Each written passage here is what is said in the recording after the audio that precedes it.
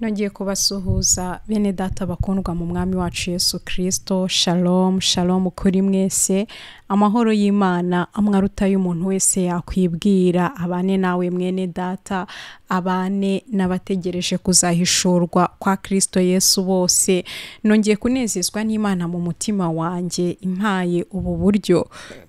Kugira ngo tugaruke mu biganiro tugiye gucumbukura ikiganiro twakoze. Haciye iminsi myinshi cyane haciye iminsi myinshi rwose mvugishije ukuri nta nubwo nakibukaga.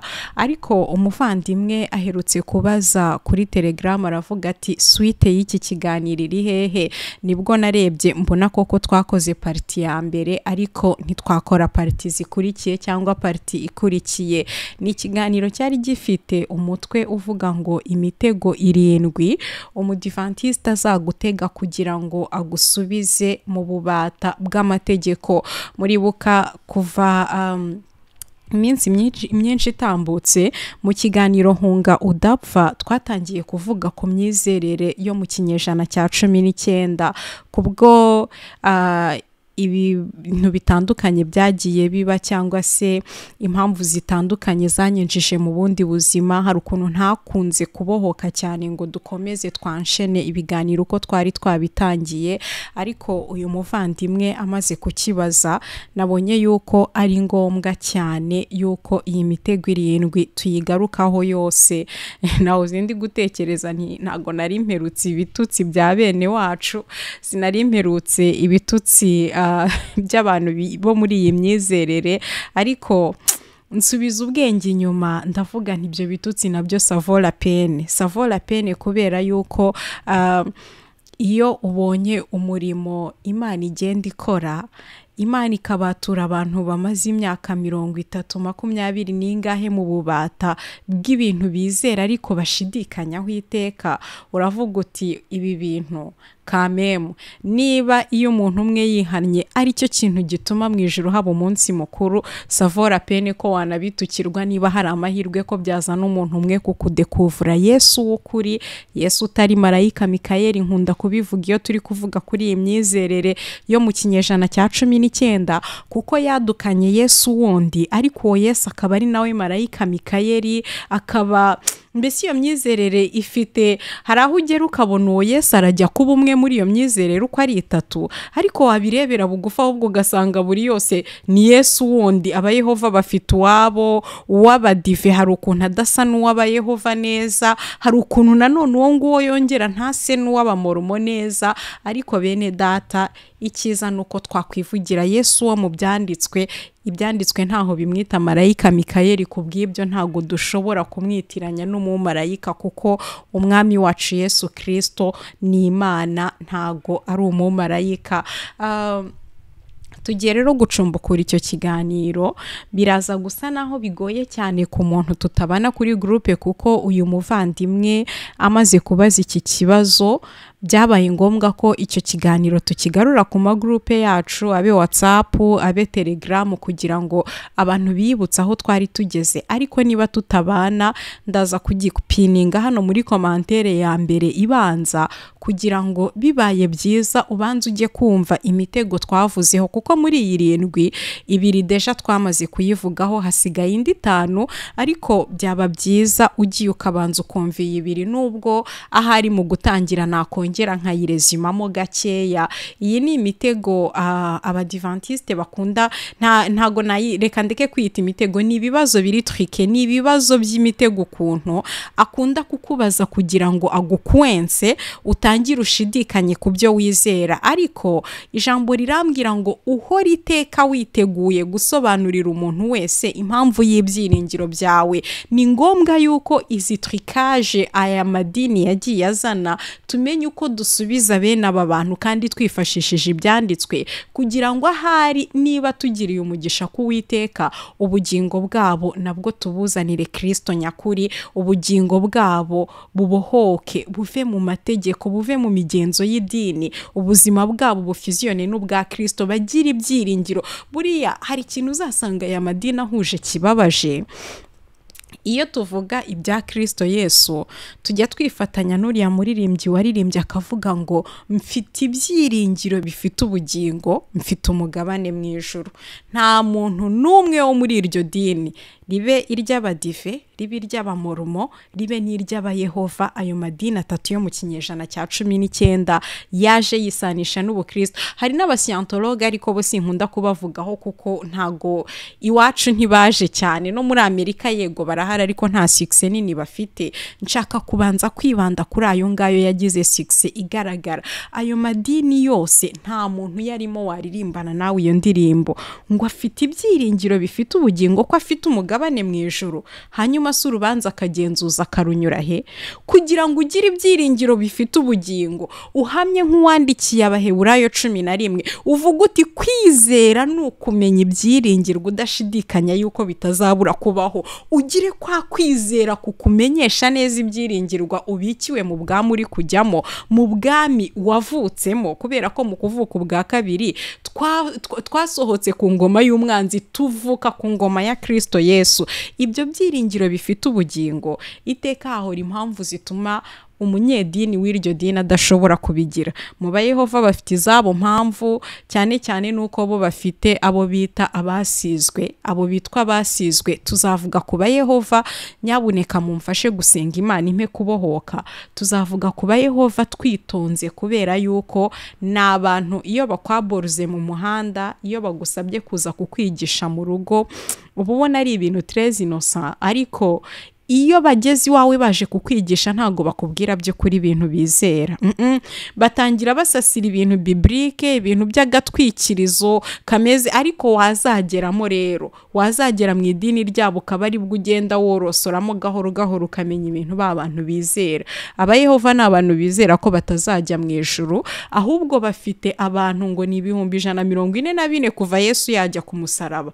Ibyo bihumbi ijana mirongo ine na bine n'ubu bitaruzura abo bantu ngo bitwa basizwe nibo bonyine bazajya mu ijoro abo bantu rero hari urusengero ruba rutagiramo n'umwe. Ugasanga par exemple nko mu rwanda ushobora gusanga nta wasizwe n'umwe uhari. Uzabibwirwa n'iki?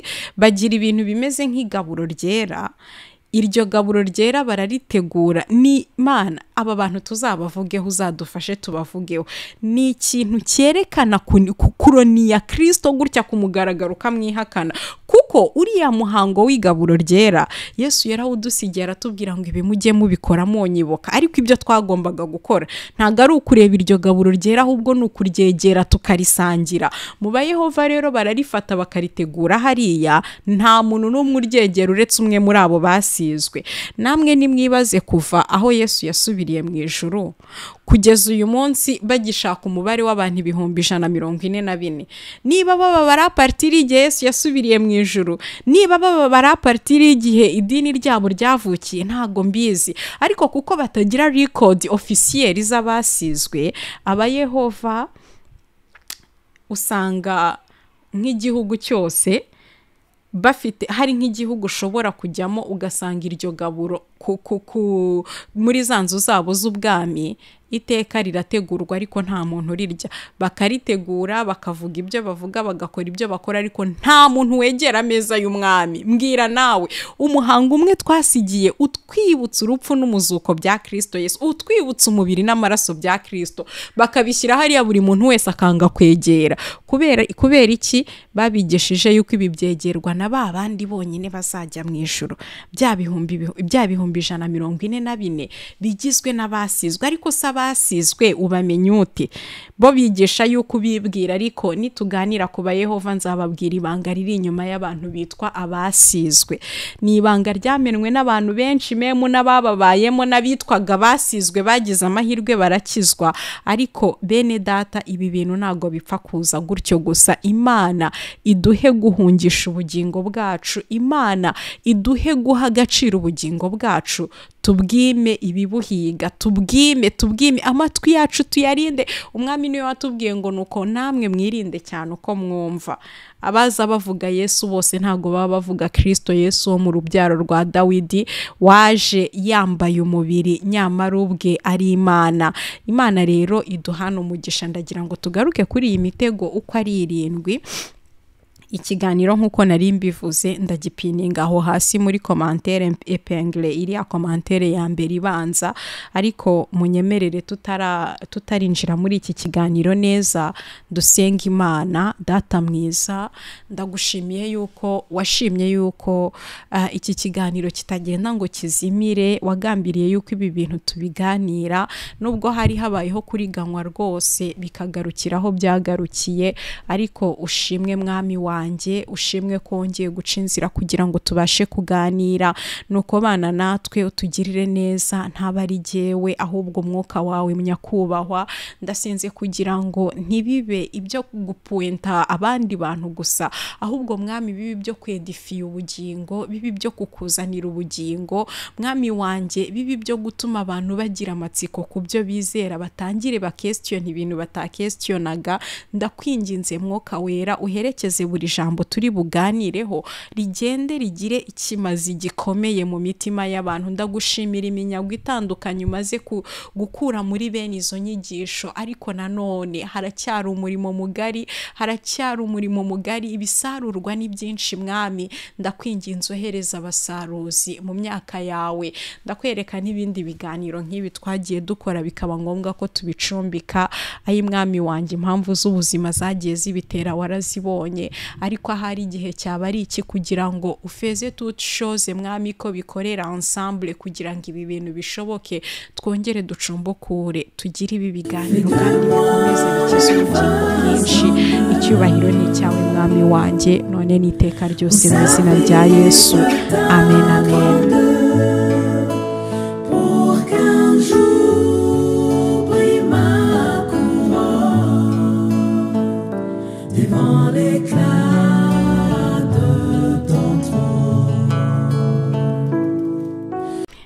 Ya munyemere rero ducumbukurire jisitoma ku mutego wa gatatu twari twamaze kuvuga ibiri ibanza urebye iyi mitego uko ari irindwi ikonserina isabato kubera yuko ibintu abadive bizera ntabwo ari byo bashyira imbere.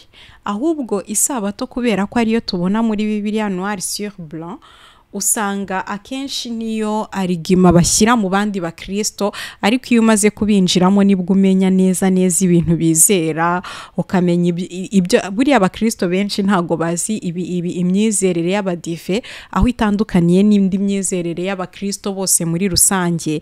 Yenda ibyo twazabikorera ikiganiro cyabyo abadive ntabwo twizera agakiza cyo kimwe uko twe tuzi agakiza siko bakazi ntabwo ibyiringirwa tubitegereje kimwe mu gihe twe tuzi yuko dufite ibyiringiro muri kirisito bo baracyari mu rubanza akagenzuzi twebwe tuzi yuko iyo uvutse ubwa kabiri uba ubaye umwana w'imana uri umuragwa w'ibyasezeranijwe hanyuma ugakomeza kubaho uyoborwa n'ijambo ry'imana. Kuko faso ntiwavuga ngo uri umwana w'imana utayoborwa n'umwuka wa kirisito kuko abayoborwa n'umwuka w'imana nibo bana b'imana. Ariko niba uri umwana w'imana uyoborwa n'umwuka w'imana koko ufite ibyiringiro nta gushidikanya yuko ufite umugabo umugabane mu ijuru y'uko umurage cyangwa ibyiringirwa dutegereje ari ibyawe.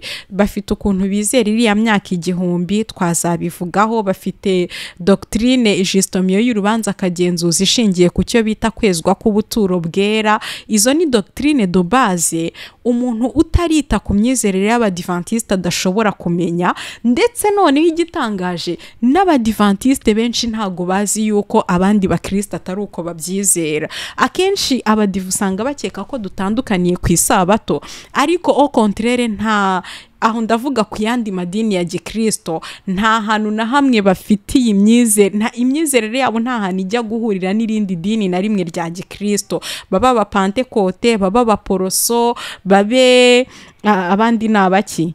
Aba bose nyine ibi byose biri hanze aha ngaha abakatolike bo nabo bafite ibyabo bizera. Ariko abantu benshi bagiye yenda bava mu madini ariko basohotse mu myizerere ya gipantekote ya giporoso ndakubwira yuko ibintu abadive bizera nta sano na ntoya bifitanye. N'ibyo abaporoso bizera n'ibyo abapantekote bizera n'ibyo abakirisito muri rusange bizera. Ni imyizerere yabo yihariye ya bonyine ariko akenshi kubera yuko nabo iyo babibigisha batabitindaho gutyo hari n'ubwo ushobora kugira ngo umudive yaguhishe ibyo yizera. Ariko mu by'ukuri atarabiguhishe ari uko nawe atarazi ko atari byo wizera. Ari uko ntago nawe ntago yari azi yuko utizera urugero nk'ikintu abadive bizera gewe kimufe vraiment froid dans le dos kintera ubwoba mu bintu byose bizera ni ikintu bizera kuri iriya hene y'ihongerero. Uburyo iriya hene yo kohera ari satani ugomba kuzashyirwaho ibyaha byacu mu minsi ku munsi w'imperu cyangwa se a la fin d'etat donc ubu ngubu ngo twatura ibyaha byacu byose bikajya ku buturo bwera. Hanyuma ku mperuka y'ibihe ngo satani ibyaha byacu bazabikura ku ihema ku buturo bwera babishyire kuri iyo hene ariyo satani. Mu gihe twebwe twizera yuko itorero rizimana na kirisiti imyaka igihumbi bo bizera yuko ahubwo satani azoherwa imyaka igihumbi ku bw'ibyo byaha byacu yashyizweho. Ariko bene data. Ikintu gikomeye mwaho ugomba kumva ni ukumva ko iyi myizerere iha satani rori ikomeye mu gakiza kacu agakiza kacu ntabwo gashobora kuzura kompletoma uyu nguyu ugomba gushyirwaho ibyaha byacu byose ngo abyoherwane mu gihe bibiri itubwira yeruye bene data ngo ubwe yikoreye ibyaha byacu mu mubiri we satani arikorera ibyaha byacu uburyo ki koko? Ibyaha byacu hari uwabyishyizeho ibicumuro byacu arabyikorera arabicumitirwa igihano kiduhesha amahoro kijya kuri we uwo ni we wabaye impongano y'ibyaha byacu. Kandi icyatumye abambwa hanze y'umurwa ni uko yari amaze guhinduka ikivume ku bwacu. Imana idutabare ijye iduha kuvangura ibi bintu. Hanyuma imitego ibiri twaganiriyeho dutangira nk'uko nari mbivuze iyi mitego yose ijyanye n'isabato hafi ya yose. Umutego wa mbere cyangwa se arigima ya mbere baguha bakwereka yuko uri mu buyobe bukomeye. Niba utubahiriza isabato ni ukukwibutsa yuko amategeko y'imana ari ay'iteka ahoraho. Amategeko y'imana n'ay'iteka ryose. The law is eternal. Iyo avuga the law is eternal aba ari kuvuga bya bisate by'amabuye ntabwo aba ari kuvuga itegeko ry'umwuka w'ubugingo ryo muri kirisito rimwe ryahozeho kwa adamu rika- rikaba rikomeza uyu munsi mu itorero rya tegeko ry'umwuka w'ubugingo ryo muri kirisito ubundi iyo tuvuze ngo ikintu kiri itano ni uko kita ntabwo kizaba itano ahubwo cyahoze ari itano cyahoze ari eterineri cyahozeho kizanahoraho. Ikintu eterineri ntabwo ari ni ikintu kidafite aho cyatangiriye cyangwa se kuva aho cyatangiriye cyashyiriweho kubaho iteka ariko ah, twasomye amagambo akwiye kuguhamiriza ibyiringiro byawe. Ushobora kuza kwi- kwisomera mu bagaratiya igice cya gatatu. Ushatse wasoma jisite umurongo wa cumi na karindwi ukagera ku wa cumi n'icyenda aho pawulo yerekana uburyo aya mategeko y'inyuguti afite itangiriro kandi afite n'igihe yari yarashyiriweho. Twayahawe nk'umushorera kugeza igihe runaka. Ushobora kuza kubisoma ah, mu bagaratiya gatatu ufite umwanya wasoma igice cyose cya gatatu n'icya kane mu cya kane ho haratangaje agereranya amategeko na hagayi wari inshoreke cyangwa se wari ah, ya muri icyo gice amwita inshoreke swati ngira ngo amateka ya hagari n'uburyo ya- yabyaranye na burahamu murayazi. Agereranya amategeko na hagari hagayi wari inshoreke ndetse hagayi akongera akamugereranya na sinayi naho isezerano rishya akarigereranya na sara wari umugore w'isezerano. Kandi ari nawe ngo ugereranwa na yerusalemu nshya ari we mama wa twese. Agasoresha ijambo rikomeye rivuga ngo senda inshoreke n'umwana wayo ngo kuko umwana w'inshoreke umuhungu w'inshoreke atazaraganywa n'umuhungu w'umugeni. Ntago ibiva mu mategeko bizaraganywa n'ibiva muri yerusalemu nshya. Nta, ntago ibiva kuri sinayi bizaraganywa n'ibiva muri yerusalemu nshya. You've got to choose. Ni ukuvuga ngo urahitamo gusenda inshoreke n'umuhungu wayo nk'uko bibiri bitwigisha cyangwa kuyikipinga nyine utegereza amasezerano yo kuri sinayi ariko udategereje ayo kuri yerusalemu nshya. Ah, umutego wa kabiri twaganiriyeho ndi kubinyuramo nihuta twatanze ibyanditswe bitandukanye ushobora kubisoma. Cyane cyane icyo nibuka cyansigayemo ah, ejo bundi nongera ku- ku- kureba ibyo twaganiriye ni mu bakorinto ba kabiri igice cya gatatu. Aho pawulo yerekana uburyo amategeko ngo yari afite ubwiza bushiraho fading glory. Yego yari afite icyubahiro ariko icyo cyubahiro it was just fading kuko it was temporal. Yari afite icyubahiro ariko a fading glory. Ntago mu kinyarwanda bakoresha ubwiza bushiraho ariko ushobora kuza gusoma ayo magambo neza muri kontekste yayo ukumva icyo umuntu w'imana yashakaga kuvuga. Umutego wa kabiri ni uko azakubwira terega urebye nubwo mushaka gupinga ibintu by'isabato isabato inatandukanye n'andi mategeko kubera yuko isabato yatangiriye muri edeni. Akakwemeza rwose neza yuko isabato yatangiriye muri edeni. Icyo kintu ntabwo ari cyo habe na gato. Bibiriya itubwira neza yuko imana yakoze imirimo yayo yose irayisoza. Usomye mu itangiriro kabiri ni naho twatangiriye umurongo wa kabiri n'uwa gatatu batubwira uburyo imana yashyizeho yaruhutse kuri uwo munsi. Avurediri ntabwo yacumbikiye imirimo yakoraga. Yari iyishoje yakoze imirimo irayisoza iraruhuka. Nta wundi murimo wari usigaye wo gukora. Ayo magambo twayaganiriyeho bikomeye bi- bi- birambuye ushobora kuza kujya kubisoma. Ariko ara- ha- haravuga ngo ku munsi wa karindwi imana irangiza imirimo. Yakoze imana yari irangije imirimo. Nk'uko natwe tukibikiwe uburuhukiro bubikiwe abantu b'imana ubwo buruhukiro ubwinjiramo uvuye mu mirimo yose y'uburetwa uyirangije ya yindi kirisita agusangamo yarangiza akakwinjiza mu buruhukiro ari bwo kirisito yesu. Niyo mpamvu avuga ngo erega namwe abarushye n'abaremerewe nimuze mu nsange ndabaruhura. Erega ni we buruhukiro bwacu ni we isabato yashushanyaga. Nuko imana ngo ikora imirimo yayo yose iyishoje rero. Yinjira mu buruhukiro.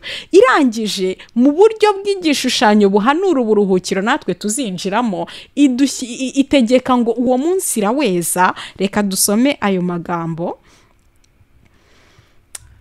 Ngo ku munsi wa karindwi imana irangiza imirimo yakoze iruhuka ku munsi wa karindwi imirimo yayo yose yakoze. Imirimo yose irangiye. Imana ni bwo yaruhutse.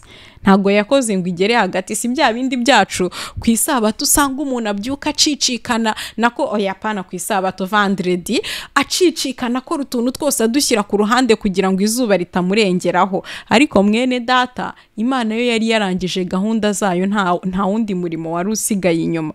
Ngo imana iha umugisha umunsi wa karindwi iraweza kuko ari wo yaruhukiyemo imirimo yakoze yose. Umunsi wa karindwi imana yarawejeje ngo kuko ariho yaruhukiyemo imirimo yayo yose. Aha rero abadive ni ho bahera bakakubwira ko iyo ariyo tangiriro y'isabato. Ariko ntago ariyo ntago ari itangiriro y'isabato. Isabato tuyibona bwa mbere mu byanditswe mu kuva cumi na gatandatu igihe imana ibagushiriza amanu.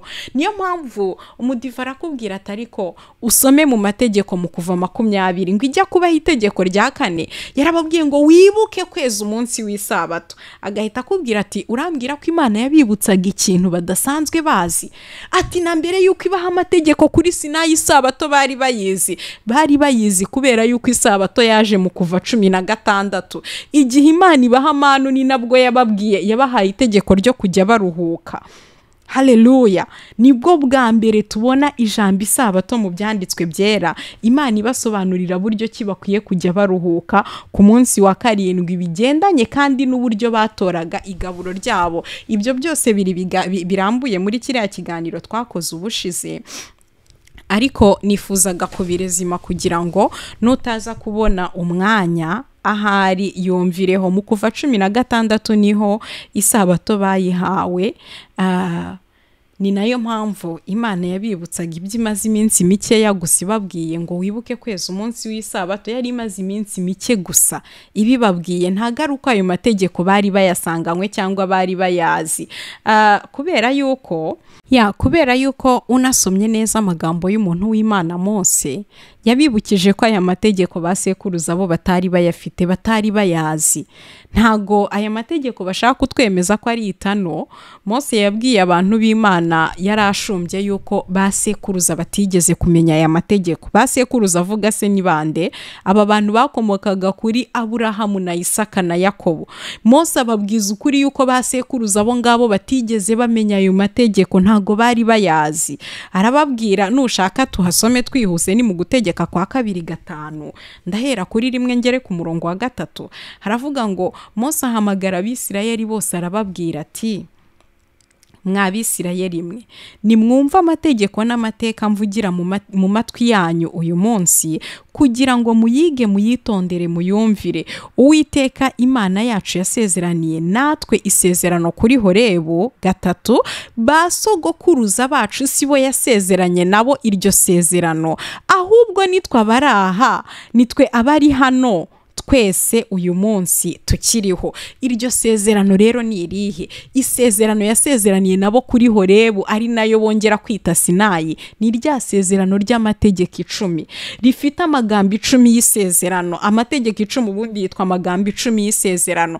Kandi noneho iryo sezerano rikagira isabatoho ikimenyetso. Mu gihe isezerano imana yasezeranye na burahamu rituma umuntu abasha kwinjira mu gihango cy'isezerano rya burahamu jisitoma mu isezerano rya kera kwari ugukebwa ikimenyetso cy'isezerano riri hagati y'imana na burahamu cyari ugukebwa natwe kuko turi urubyaro rwa burahamu uyu munsi dukebwa ku mitima bo bakebwaga ku mibiri ariko ngo twe twahawe gukebwa kwiza ariko gukebwa kw'imitima. Aya mategeko rero wayita itano cyangwa ntuyita itano icyo tuzi ni uko ba sogokuruza babo atari bo bayahawe. Ahubwo abangaba bayahawe ni urubyaro rwari ruri kumwe na mose aho mu butayu.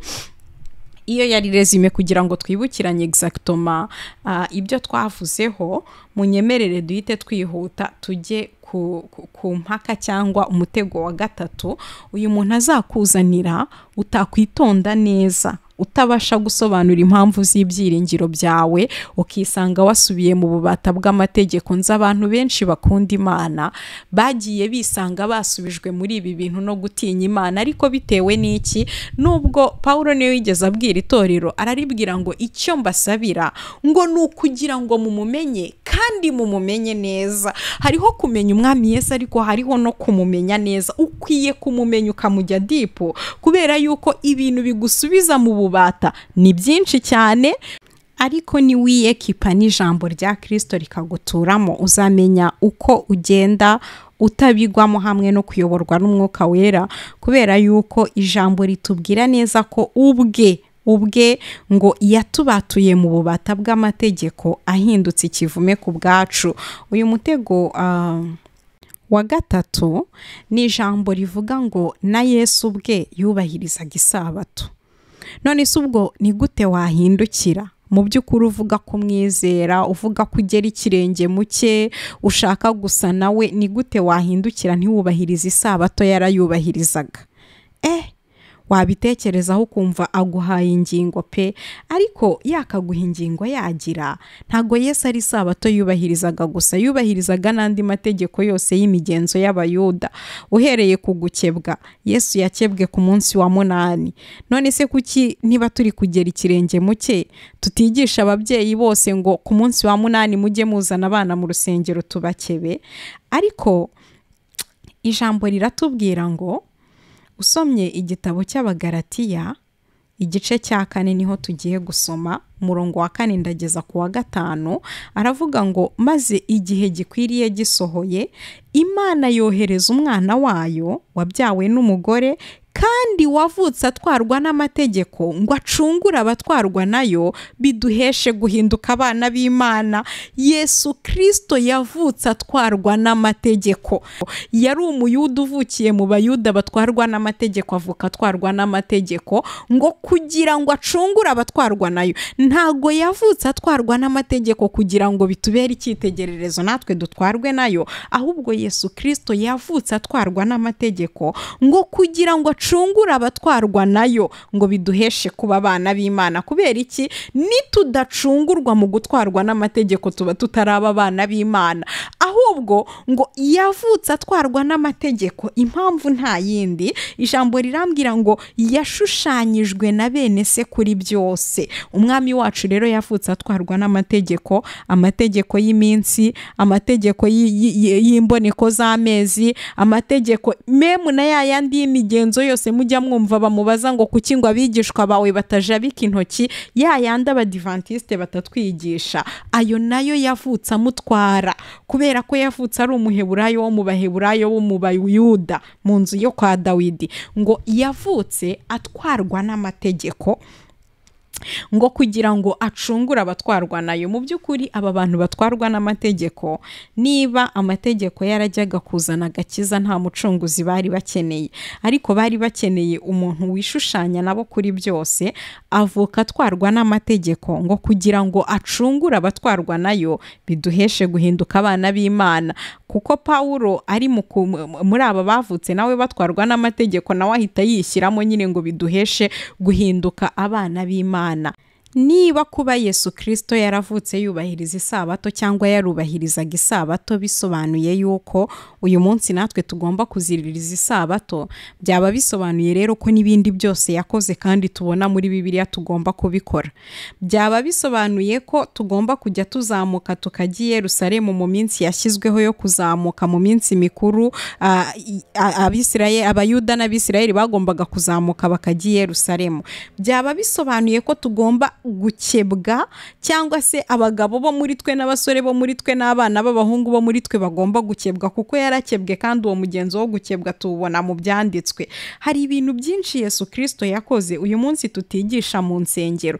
Kubera yuko duhamya ko byari ibyo muri icyo gihe cy'amategeko. Biratangaje rero ko umuntu yapikingamo akantu kamwe agapikingamo jisiti isabato akakubwira ati yesu kirisito yarayubahirije nawe jya uyubahiriza. Uwo muntu uba ukwiye kumubaza niba ari umugabo uti se warakebwe? Yenda yarakebwe ariko se yakebwe ku bw'amategeko nibura ni umuhango wakorewe mu rusengero akebwa ku munsi wa munani. Abana be baravuka akabajyana kubakebesha ku munsi wa munani. None ko yesu yabikoze? Ko yesu yabikorewe? None se uwo muntu niba ari umugore ni urugero?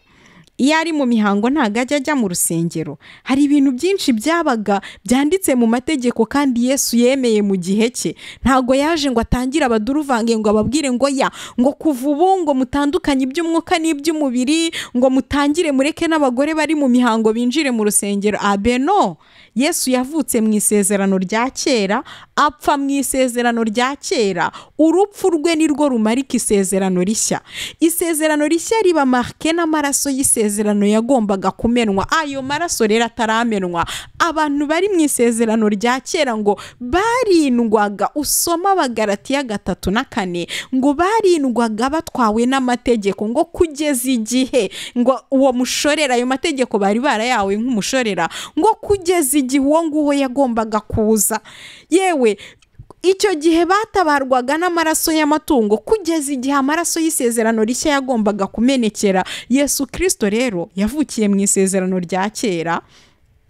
Yigira mu isezerano rya kera yigishiriza mu isezerano rya kera. Isezerano rishya buriya. Abantu bazi yuko ritangirana na mata y'igice cya mbere. Ariko mu byanditswe hariya tuba tukiri mu isezerano rya kera kuko isezerano rishya ritangirira ku musaraba. Hatabayeho kumeneka kw'amaraso nta kubabarirwa ibyaha kubaho.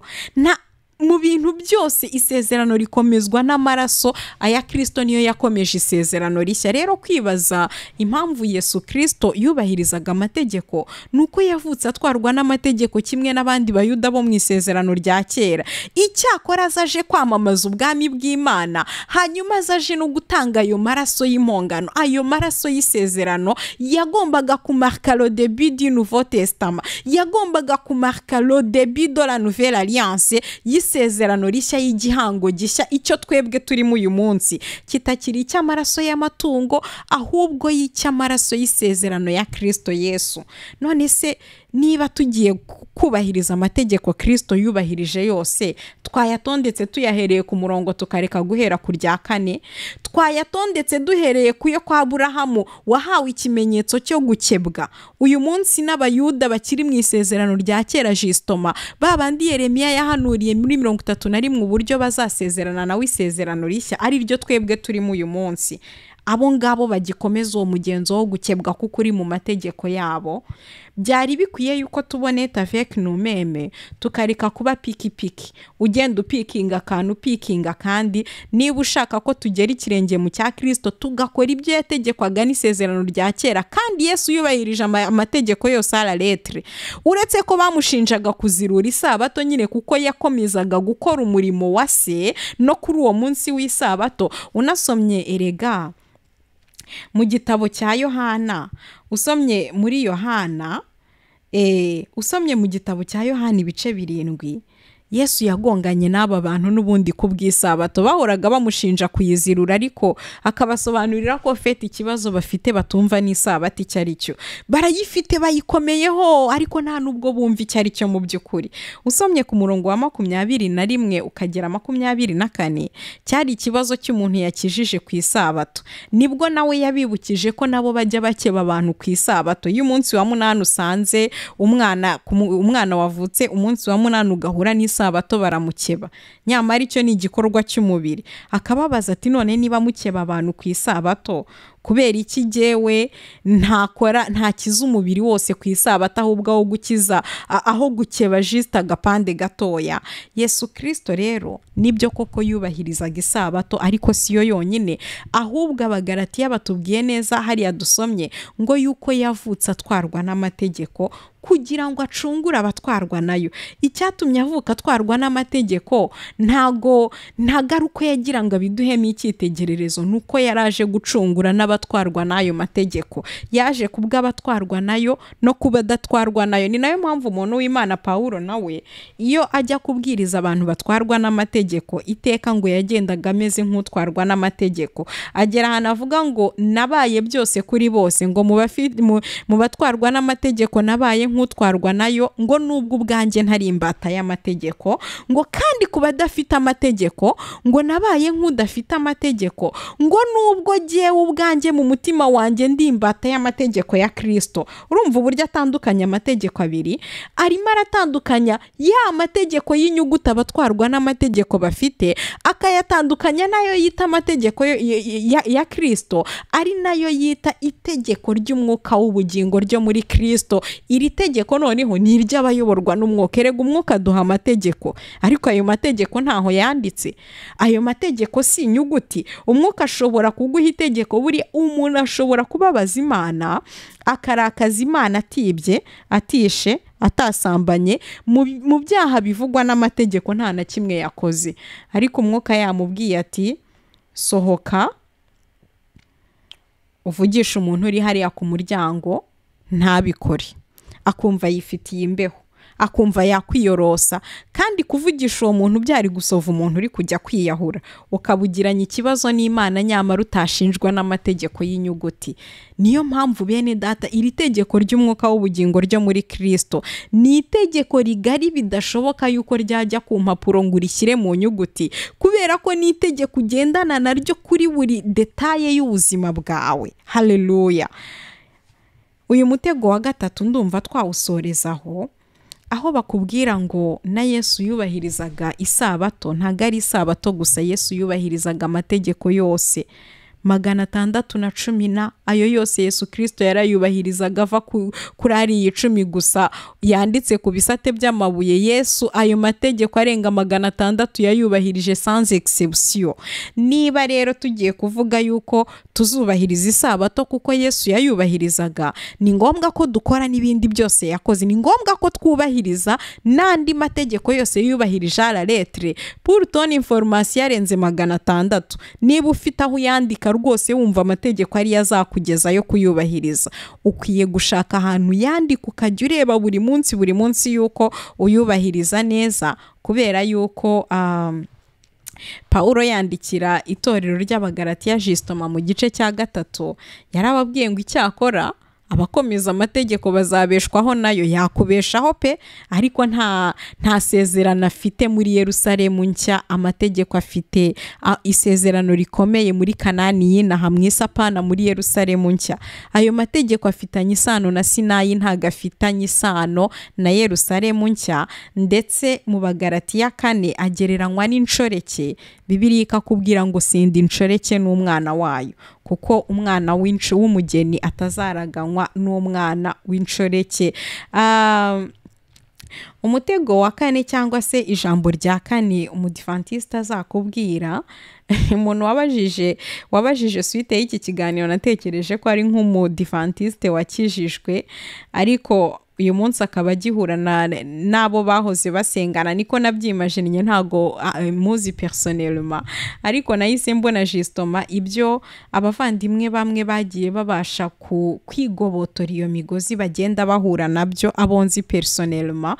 Uburyo n'ubundi aya magambo akunda kugaruka bakubwira bati nyamara ibintu wagiyemo shaha ibyo bintu byawe dore ibaze nk'iki ngiki urakivugaho iki? Aya magambo rero arindwi niyo nifuje ko tuganiraho ijambo rya kane bakubwira yuko isabato izakomeza no mu ijuru ko no mu ijuru tuzakomeza kujya turuhuka ku munsi wa karindwi.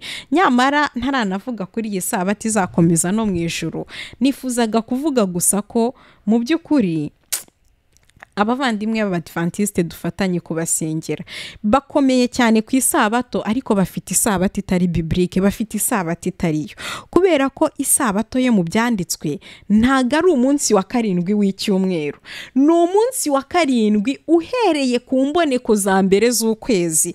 Aba bantu ukuntu bari babayeho ntago bagiraga bene izi kalendari zacu uba uzi ngo turi ku ya mbere ku ya kabiri ku ya gatatu. Oya ukwezi kwatangiraga umunsi babonaga imboneko y'ukwezi. Iyo babonaga imboneko z'ukwezi bukeye bwaho nyine ku munsi wabonetseho imboneko z'ukwezi. Icyo bita imboneko z'ukwezi? Ukuntu ukwezi kuza kumeze kwa bakabyita imboneko z'uko kwezi ni ho ukwezi gushya kwatangiraga. Uwo munsi wa mbere rero w'ukwezi gushya gutangiye mbese ntago bagiraga ngo ni iminsi mirongo itatu ngo ni mirongo itatu n'umwe bahoraga. Bari bafite abantu b'abarinzi ku nkike bahora bacunganywa n'ukwezi. Hanyuma uwo munsi wa mbere wabonetsweho izo mboneko z'ukwezi niyo yabaga ari isabato ya mbere. Uwo munsi wabaga ni byo bibiliya yita kuziririza imboneko z'ukwezi. Uwo munsi wabaga ari umunsi w'ikiruhuko. Hanyuma aparitiri y'uwo munsi bakabara amasabato yose azabaho muri uko kwezi kugera ku yindi mboneko z'ukwezi. Uti ibyo bintu byagendaga gute?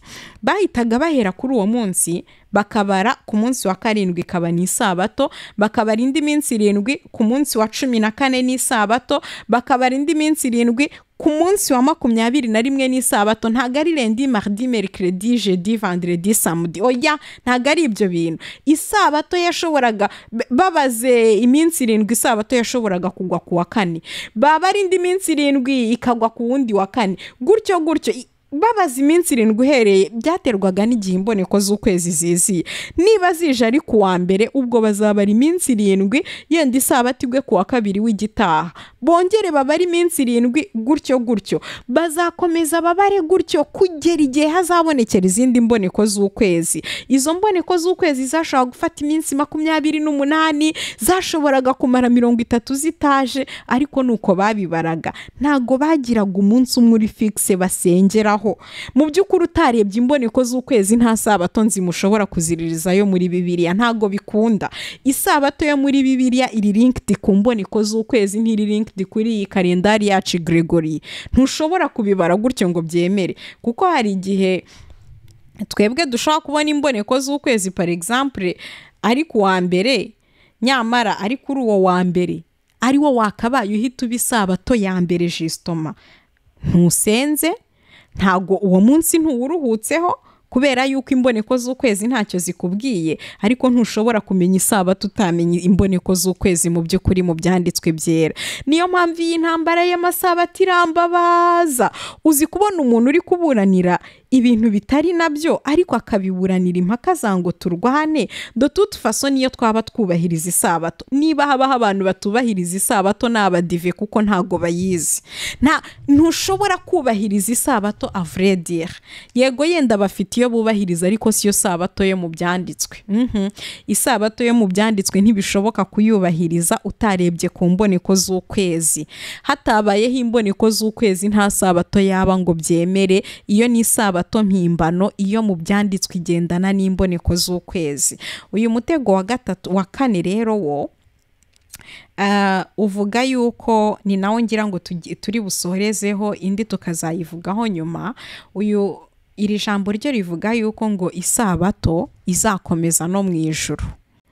Kuri iyi ngingo ho ntababeshye gengira tandansi yo kwemeranywa nabo kuko nemera yuko mu ijuru tuzaba twararuhutse imiruho yacu yose nemera yuko mu ijuru tuzaba tuba mu isabato furi. Ntabwo tuzaba dukora ngo turuhe turuhe niturangiza turuhuke reka da. Ahubwo noneho tuzaba turi muri bwa buruhukiro bw'iteka. Niyo mpamvu ijuru nyine ahantu twita mu ijuru ni ahantu ho kuruhukira ni ahantu tuzaturiza. Ariko ah, usomye mu gitabo cya yesaya. Usomye mu gitabo cya yesaya igice cyaho cya mirongo itandatu na gatandatu ni na yo magambo nabo bakunda gukoresha ariko sindi buyajyeho impaka kuko nanjye mbyemera. Nemera ko mu ijuru tuzajya. Yego isabato izakomereza mu ijuru ariko isabato izakomeza mu ijuru si yo ku wa gatandatu ni- si yo ku munsi wa karindwi w'icyumweru. Ntabwo ari isabato ya samudi. Ahubwo ni ubuzima noneho tuzaba twinjiye mu buruhukiro bw'iteka. Ijambo riravuga ngo nk'uko ijuru rishya n'isi nshya nzarema bizahoraho imbere yanjye. Niko urubyaro rwawe n'izina ryawe bizahoraho niko uwiteka avuga. Igihe kizaza wumve kwa kuntu isabato ina- inari linkedi koko. Ngo igihe kizaza uhereye ku mboneko z'ukwezi ukageza mu mboneko z'ukundi kwezi no guhera ku isabato ukageza ku yindi sabato abantu bose bazajya baza gusenga imbere yanjye. Urumva isabato izakomeza mu ijoro ukuntu izaba imeze. Noneho si imboneko z'ukwezi zizajya ziza ngo ibintu bihagarare. Uba umunsi wo kuruhuka ntihagire igikorwa. Reka da. Ahubwo uhereye ku- mboneko z'ukwezi ukageza ku zindi mboneko z'ukwezi. Ubundi imboneko z'ukwezi imana mu minsi mikuru yari yarabahaye uhereye kuri iriya sabato jisitoma yatangiranaga n'imboneko z'ukwezi. Umunsi ukwezi kwabonetseho bararuhukaga. Ariko noneho hano bibiri iri kutubwira ngo uhereye ku mboneko z'ukwezi ukageza ku zindi. No guhera ku isabato ukagera ku yindi. Noneho kuza imbere y'imana abangaba bajyaga bazamuka bakajya gusenga ku isabato ku mboneko z'ukwezi bagaterana bagasenga. Ariko noneho imana iri kuvuga ko ibyo bintu bizahinduka ubuzima bwacu habe hagati y'imboneko y'ukwezi n'iyindi. Ku mboneko y'ukwezi tuzaba turi imbere y'imana nyuma y'imboneko z'ukwezi dukomeze tube imbere y'imana hagati y'imboneko y'ukwezi n'indi tuzaba twibera gusa muri ubwo buzima. Ni nako bizaba bimeze mu isabato. Ngo kuva ku isabato ukagera ku yindi sabato ntago ntabwo ari ukuvuga ngo noneho ngo ibintu ngo bizajya bihagarara. Impamvu imana ikoresha aya magambo ni iki? Ntabwo ari uko muri iyo minsi tuzaba tukibara amasabato gutya ahubwo ni uko ari cyo gihe aba iri kubwira babaragamo. Aya niyo magambo yo kubara igihe bari bazi. Nk'uko wavuga ngo ukwezi kose tuzajya tuba muri ibi ntabwo twaba tuvuze ngo ntituziririze premier janvier cyangwa tuziririze iminsi mikuru y'amezi beno ni uko ari bwo buryo tuzi kubaramo amezi aba bantu aya magambo um, abadive bayakoresha bashaka kumvikanisha ko no mu ijuru isabato izaba igikomeje kuko bibiri itwereka ko hagati y'isabato n'indi tuzaba dusenga. Ariko ntabwo ari icyo bibiri iri kutubwira. Aya magambo niyo bajyaga bakoresha babara ibihe? Imboneko z'ukwezi hagati y'isabato n'indi ubwo umuntu yabaga azi kubara iminsi irimo ko ari iminsi irindwi ni ubwo buryo bari bazi babara iminsi. Imana rero irababwira iti ahubwo ntago gusenga bizongera kuba iby'umunsi. Reka da ahubwo bizaba iby'iteka habe ku isabato habe hagati y'isabato n'indi mbese bizakomeza. Ni nko kuvuga ngo hagati y'imboneko z'ukwezi n'indi abantu bazaba basenga gusa. Abantu baza usoma uwo murongo wumve neza. Biratangaje ukuntu umuntu asoma uyu murongo akakumvisha ko bibiri iri kukubwira ko habe mu isi habe mu ijuru isabato izaba ikiriho. Beno aya niyo magambo bakoreshaga babara ibihe. Iminsi irindwi mu gihe twe tuyita icyumweru bo bayibaraga hagati y'icyumweru hagati y'isabato n'indi sabato. Ntabwo bavuga ngo icyumweru cya mbere oya ku isabato ku wa mbere w'isabato ku wa kabiri w'isabato kuko isabato niyo yari depari aba bayuda rero imana irimo iha ubu buhanuzi. Irabibabwira nyine mu rurimi bumva. Niza kubwira abanyarwanda izababwira ati icyumweru cyose tuzajya duhora twisengera kuko twebwe uyu munsi tubariye iminsi mu cyumweru. Nijya kubwira abazungu izababwira toute la semaine turo muwa kubera yuko nabo babara ibihe byabo mu byumweru no ariko abayuda bo babaraga ibihe hagati y'isabato n'indi no hagati y'imboneko z'ukwezi n'iyindi. Nicyo gusa bishatse kuvuga. Ariko kandi bikanatwereka ko ahubwo isabato nta nubwo izaba ari ikintu kiri sipesiyare wumve ngo hagati y'isabato n'indi imana yadushyiriyeho umunsi wo gusenga ku bw'imiruho tubamo hano. Ariko noneho icyo gihe nta munsi wo gusenga uzaba ubaho. Ahubwo iminsi yose ngo izaba ari iminsi yo gusenga. Hagati y'imboneko z'ukwezi n'indi ngo abantu bose bazajya baba bari imbere y'imana. Iminsi yose. Reka twongere dusome aya magambo ngo igihe kizaza uhereye mu mboneko z'ukwezi ukagera mu mboneko z'ukundi ngo no guhera ku isabato ukageza ku yindi abantu bose bazajya baza imbere yanjye. Ni ukuvuga ngo imana yari irimo ivuga ko iminsi yose noneho. Umva nta miruho izaba ihari ngo dukeneye kuyiruhuka ahubwo tuzaba turi mu buruhukiro nyakuri by'iteka ntabwo tuzaba tu- tunanirwa ngo dukeneye kuruhuka ahubwo tuzaba tuba muri presence y'imana en permanence.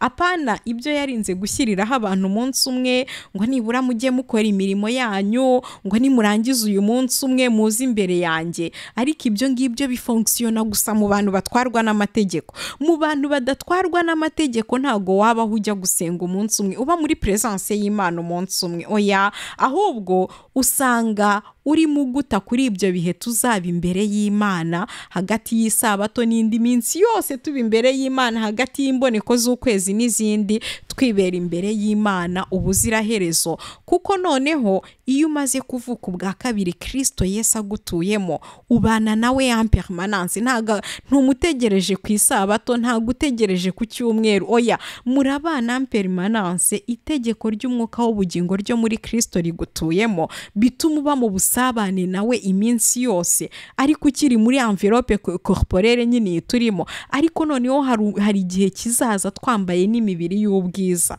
Tutagifite limite z'uyu mubiri.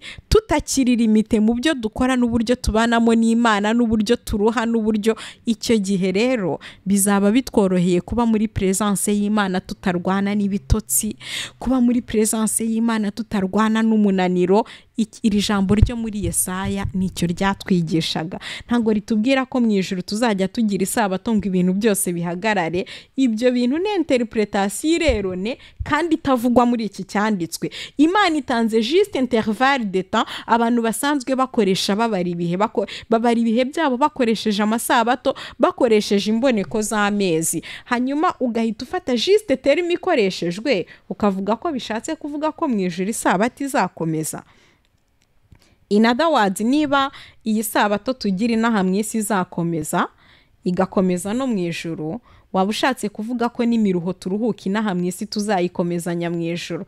Kuko jisitoma isabato ni igihe cyo gushyira imiruho yacu ku ruhande kugira ngo turuhuke gusa ariko ntacyo turuhuka mu ijoro nta kitubuza kuba muri presence y'imana mu ijoro niyo mpamvu rimwe na rimwe jisitoma muri iyi myizerere iyo wumvise interpretation zabo z'ijuru usanga atari ryo juru twebwe tuvuga. Usanga atari ryo juru bibiri twigisha nawe se ijuru kugera uyu munsi tucyoherezamo ibyaha byacu? Iryo ni ryo juru koko ijuru tuzi ko ari iryera. Tuzi yuko ahantu imana ituye mu buturo bwayo tuhita hera ariko ngo yesu yinjiye mu buturo bwera aho ngo uyu munsi twatura ibyaha byacu bikajya kuri iryo hema ry'ubuturo bwera bikazavanwa ku buturo bwera bishyirwa kuri iriya hene yo- koherwa. Donko ijuru bari kuvuga uyu munsi rijyamo ibyaha dutaransifera ibyaha byacu mu ijuru. Bene data rimwe na rimwe nitunaburana ku ijuru tujye dupoza gatoya tubanze dusobanukirwe niba amajuru turi kuvuga ari amwe. Nakunze kubwira abantu kenshi nkunda kugira dute ku- kuri aba bantu batanga ubuhamya bavuye mu ijuru. Kera najyaga mbiburanaho ariko nza gutega amatwi aba bantu ndabumva neza nsanga sinkwiye kubaburanya. Kuko koko birashoboka ko hari ahantu baba bavuye ariko aho hantu ntabwo ari mu ijuru ryo muri bibiliya. Bibiliya itubwira yuko hariho amajuru hakaba n'ijuru data yicayemo. Hari igihe umuntu akugendera akajya muri rimwe muri ayo majuru akagaruka atubwira les exploits abonye muri rimwe muri ayo majuru agira ngo avuye mu ijuru data wa twese yicayemo. Kumbi yiviriye mu ijuru ry'ikindi kintu gisengwa. Yiviriye mu ijuru ry'umwuka uyobya umubwiye ibintu bitaba mu byanditswe uzabona abantu bava mu ijuru aza kubwira uburyo yabonye ahantu abantu amazu y'abantu badatanga icya cumi akabona ngo ni nyakatsi n'iki? Iryo juru ribamo nyakatsi. Umwami yesu yarasize atubwiye ati mu rugo rwa data hariyo amazu menshi. Ngo iyo atahaba mba mbibabwiye. Witondere umuntu ujya mu ijuru akaza akubwira ngo imirimo dukora inaha ngo niyo matafari tuba turi kubakisha inzu zacu. Ngo hari inzu bitewe n'uburyo ukora imirimo myiza ngo zisakaje amabati meza n'izisakaje amategura meza ngo hari izirimo amakaro ngo hari izimeze gutya ariko itonde mwene da. Ijuru twebwe abizera turi kujyamo. Mu rugo rwa data aho turi kugana na mbere y'uko nkora umurimo n'umwe amazu yo yari ariyo. Yesu kirisita atarapfa. Yasize atubwiye ijambo rikomeye aratubwira ngo mu rugo rwa data hariyo amazu menshi. Iyo atahaba mba mbibabwiye. Mwene da mu rugo rwa data ko hari hariyo inzu ntaranakizwa.